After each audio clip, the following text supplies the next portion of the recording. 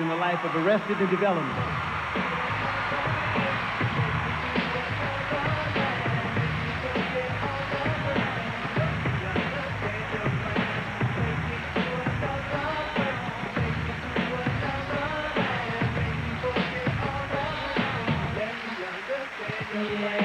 Lord, it's obvious you got a relationship talking to each other every night and day.